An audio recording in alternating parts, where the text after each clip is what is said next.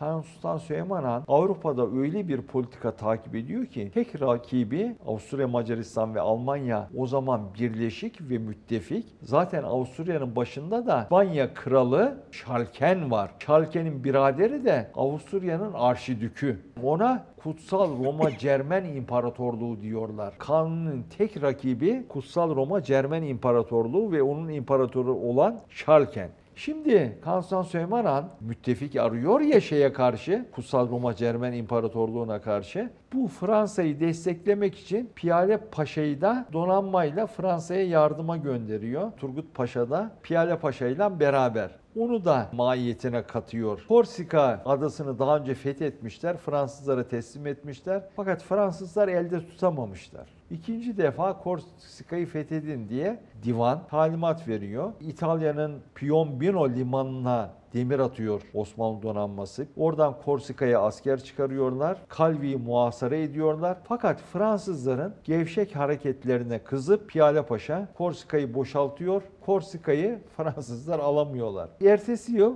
Gene Fransa'ya yardım maksadıyla Piyale Bey sefere çıkıyor 1555 yılında. Turgut Bey ile birleşiyorlar. İkisi beraber Reggio'yu alıyorlar. Turgut Reis İspanya'ya kadar gidiyor İspanya kıyılarını vurmak için. Piyale Bey de Doria'yı arıyor. Andra Doria'yı meşhur. Ertesi sene 45 kadırga ile Piyale Bey Cezayir'e gidiyor. Doğu Cezayir'de İspanyolların elinde Vahran Kalesi var. İspanyollardan fethediyor. 1557'de yine sefere çıkıyor. Tunus'un Benzert şehri fethediyor İspanyollardan. Böylece Kuzey Afrika'nın tamamının Osmanlıların eline geçmesini temin ediyor. Değil. İspanyollar Osmanlılar olmasaydı bütün Kuzey Afrika'nın hakimi olacaklardı. İspanyollar Endülüs'te İspanya'da ne yapmışlarsa bugün İspanya'da Endülüs Emevi devletinden kalma tek bir Müslüman yoksa hepsini asmış kesmişler sürmüşler zulümle zorla Hristiyan yapmışlar ise Kuzey Afrika'yı da aynı Endülüs gibi yapacaklardı. Buna mani olan Osmanlılardır. Kuzey Afrika ahalisi yatıp kalkıp Osmanlı'ya Osmanlı'ya dua dua etmeleri lazım. lazım.